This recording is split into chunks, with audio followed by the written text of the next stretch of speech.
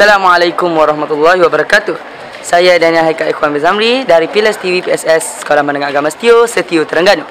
Hari ini saya akan berkongsikan serba sedikit peraturan ketika berada di asrama.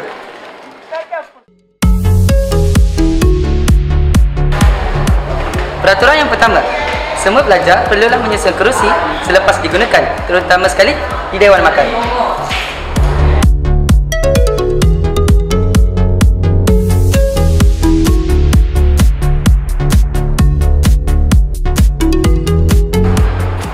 Peraturan yang kedua, para pelajar perlulah menutup suis lampu dan kipas selepas digunakan, terutamanya di bilik bacaan.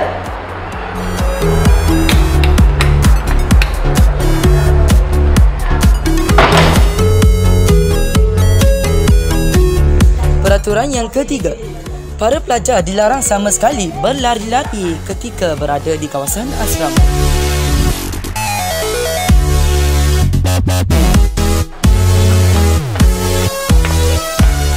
Saya melaporkan untuk Awani Junior, Sarawani Berita Segenap Dimensi.